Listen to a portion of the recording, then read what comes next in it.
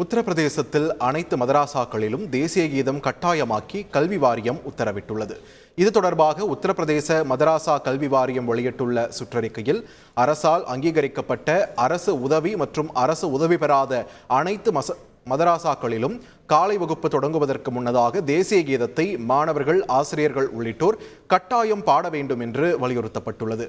மதராசாக்களில் பொதுவாக அல்லாவை புகழும் ஹம்த் மற்றும் முகமது நபிகள் நாயகத்திற்கு வணக்கம் செலுத்தும் சலாம் போன்றவை பாடப்பட்டு வந்தன. ஒரு சில மதராசாக்களில் தேசிய கீதம் பாடப்பட்டு வந்த நிலையில் தற்போது அனைத்து மதராசாக்களிலும் கட்டாயம் தேசிய கீதம் பாட வேண்டும் என்று அறிவுறுத்தப்பட்டுள்ளது.